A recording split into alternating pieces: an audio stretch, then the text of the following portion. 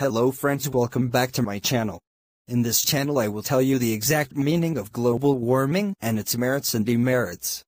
Hello students तो आज मैं फिर से वापस हूँ आपके लिए एक इंटरेस्टिंग क्वेश्चन लेके। तो आज का क्वेश्चन है कि ग्लोबल वार्मिंग क्या है और हमें इससे होने वाले फ़ायदे और नुकसान क्या हैं। तो चलिए शुरू करते हैं।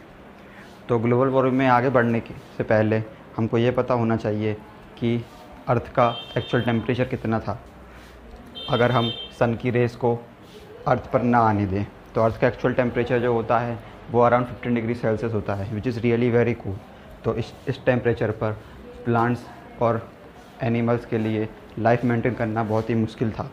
तो इनके लिए लाइफ मेंटेन करने के लिए अर्थ के टेम्परेचर को बढ़ाना बहुत ज़रूरी हो गया था। तो इनको बड़ा इसको मेंटेन करने के लिए जो प्लांट्स और एनिमल्स थे वो मदद करते थे, थे। Animals carbon dioxide gas release करते हैं ये तो आप सभी को पता है।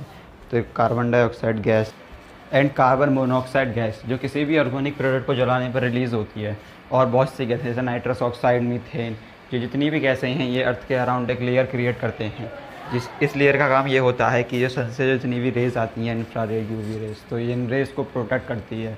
मतलब कि ये सन अर्थ पर इंसिडेंट तो हो जाती हैं, पर वापस रिफ्लेक्ट अर्थ से रिफ्लेक्ट नहीं हो पाती।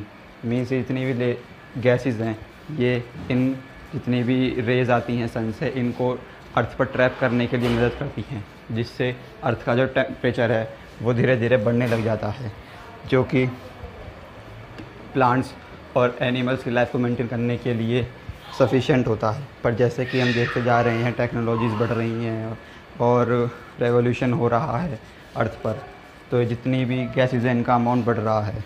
कैसे बढ़ रहा है कि जैसे अब धीरे धीरे पॉपुलेशन बढ़ती जा रही है, जिसकी वजह से पॉल्यूशन भी बढ़ने का एक मेजर फैक्टर हो गया है। और इस बढ़ती पॉपुलेशन के कारण ये जो कार्बन मोनोऑक्साइड और कार्बन डाइऑक्साइड का जो अमाउंट है, वो भी बढ़ता जा रहा है। जिसके वजह से जो अर्थ के अराउंड जो लेयर है, वो उसका भी लेवल भी बढ़ता जा रहा है। तो ये जितनी भी इंफ्रारेड सन से अर्थ पर आती हैं, ये सबको ही एक साथ ट्रैप कर लेता है। तो इसकी वजह से अर्थ का टेम्परेचर बढ़ बढ़ के बहुत ज़्यादा हाई लेवल पर पहुँच रहा है, जिसकी वजह से ग्लेशियर्स पिघल रहे हैं। तो यही है ग्लोबल वार्मिंग ये नहीं था कि ग्लोबल वार्मिंग अर्थ के लिए हानिकारक है। ये अर्थ के लिए अर्थ पर लाइफ मेंटेन करने के लिए बहुत ज़रूरी थी। पर जैसे ही इसका लेवल बढ़ रहा है, ये अर्थ के लिए ही नुकसान पहुँचा रही है। तो इसको मेंटेन करने के लिए हम सभी को पॉपुलेशन कम से कम क्रिएट करना पड़ेगा।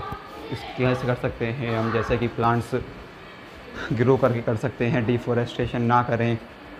और हम व्हीकल्स का यूज़ बहुत कम से कम करें, जब ज़रूरत है जब भी करें। इसकी वजह से हम कार्बन कार्बन डाइऑक्साइड का लेवल मेंटेन कर सकते हैं।